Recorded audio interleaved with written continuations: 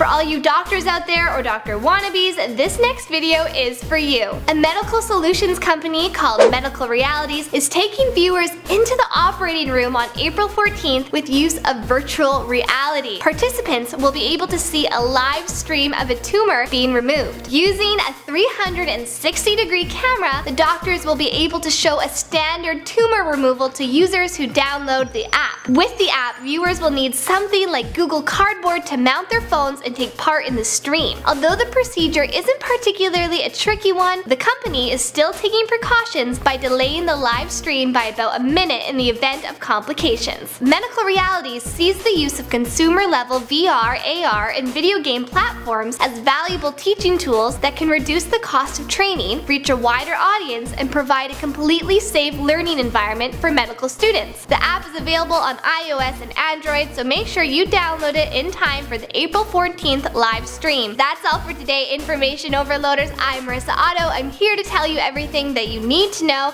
Let me know in the comments section down below if you would buy the app. As always, follow my Instagram account and like and subscribe to this video. Have a great day.